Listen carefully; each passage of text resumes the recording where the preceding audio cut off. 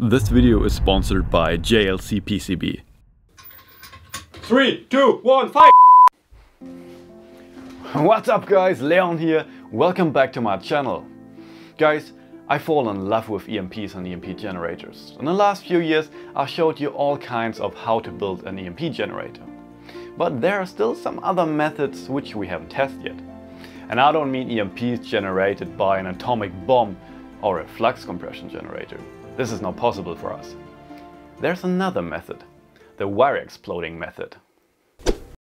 After digging through some patents, which were very interesting by the way, I came across the wire explosion method. The principle is super simple. Let me explain it quickly. A rectified high voltage source charges a high voltage capacitor. The charged capacitor is discharged by a switch across a wire. Yeah, and that's it. Optimally, the capacitor is charged to a voltage of about 50 kV. The capacity is about 0.5 microfarad. At a voltage of 50 kV, we no longer need a switch.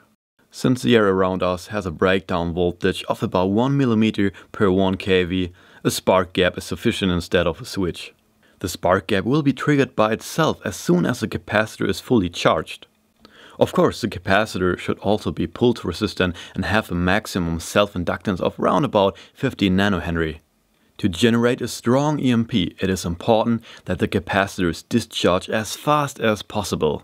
Since the wire should be vaporized by the high energy flow, it should not be too thick. I think 0.2 mm is optimal. To complete the whole setup, we mount a parabolic mirror behind the wire. Now we know how to build such a generator, but how does it work? Before we answer this question, I will introduce you to the sponsor of today's video, JLC PCB.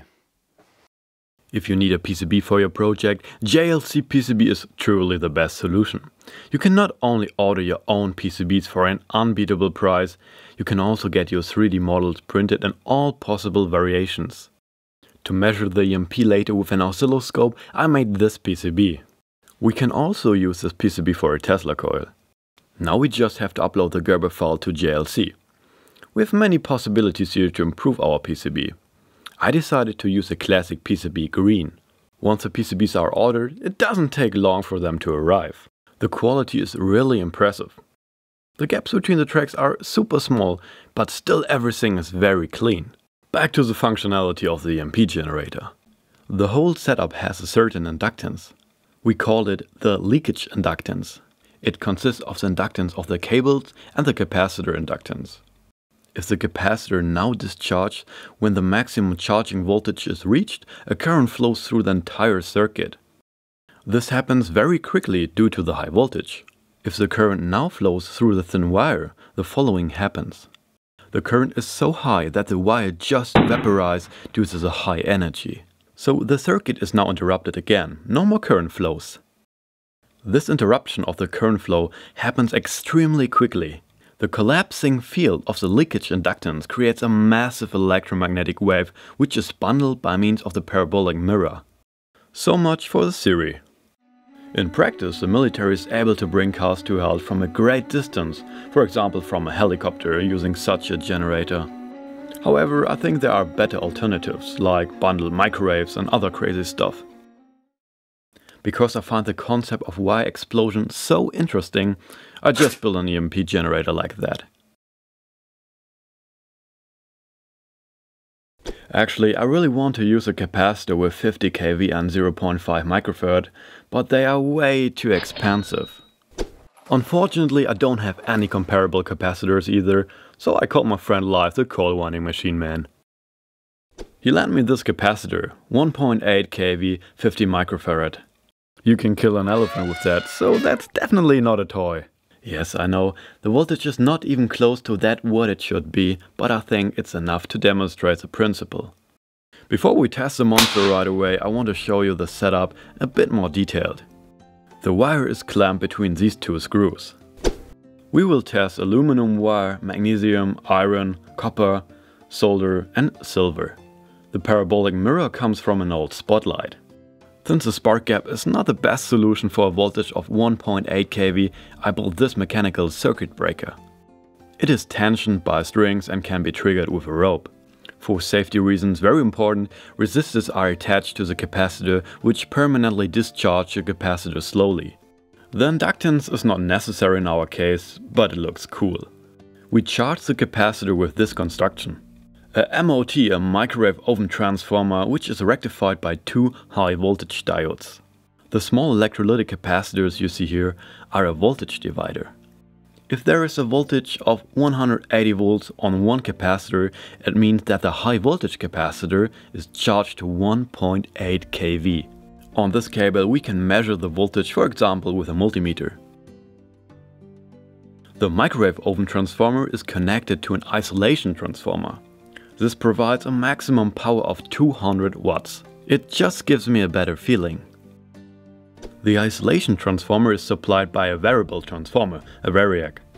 With this, we can slowly increase the voltage. Enough theory guys, you are now at the very first test. I must say, I'm a bit nervous.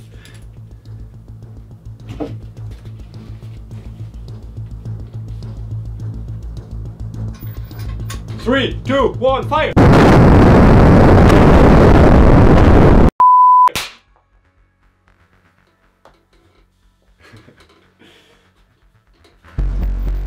and fire!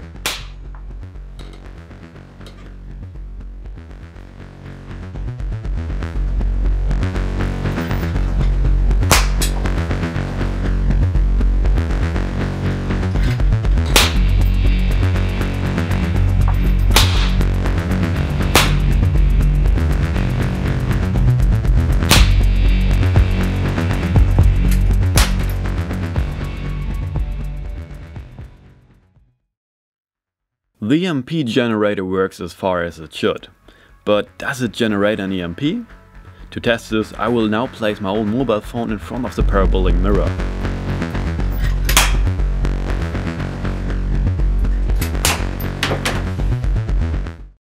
Hmm, unfortunately the mobile phone still works. Shit. The voltage at the capacitor is probably just too low. But I think we can still detect an EMP. For this, I connect the PCB from JLC PCB to an oscilloscope probe. We should now be able to see the EMP as a peak. A pulse can be measured in any case. It could be stronger, but maybe it's better the way it is now.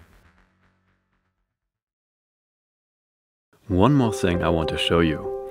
Each metal explodes in a different color. Look at these beautiful plasma clouds. They look a bit like a mini supernova.